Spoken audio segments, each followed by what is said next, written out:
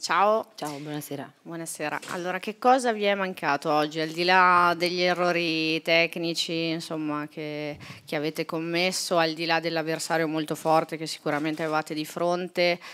Mm, mi è sembrato che mancasse qualcosa nell'atteggiamento rispetto alla prima partita vista qui al Tardini. Ma sì, soprattutto l'atteggiamento. E abbiamo fatto una brutta partita, al di là di Milan che ha fatto la sua bella partita, noi siamo, non siamo stati capaci a mettere in campo quello che ci ha chiesto il mister, quello che ci ha chiesto lo staff e questo vuol dire che noi dobbiamo lavorare tanto sulla mentalità e sull'atteggiamento. I cinque gol ehm, della Coppa vi hanno in qualche modo, secondo Quello... te, influenzato oppure...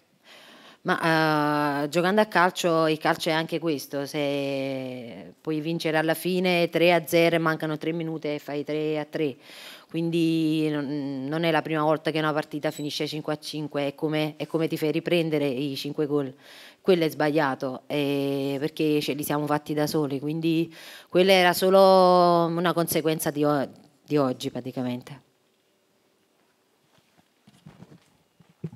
Eh, rispetto a quando giocavi con la maglia del Sassuolo, eh, oggi che Milan hai visto?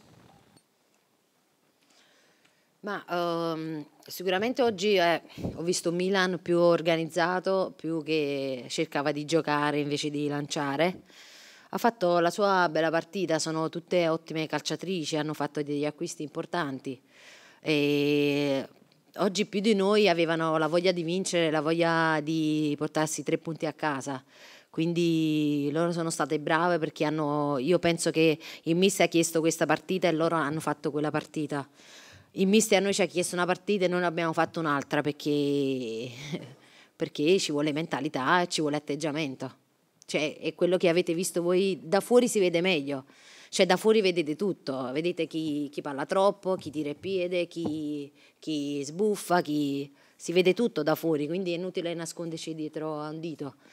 Dobbiamo solo essere umili e pensare a lavorare, ma non a chiacchiere o a fatti o su Instagram, con i fatti. E io non sono social, non mi piacciono i social e soprattutto non mi piace quando perdo, quindi io la cosa che posso dire a me stessa e alla squadra, in prima a me, è di farci un, un bagno di umiltà e di pensare veramente a lavorare e a fare bene per il Parma.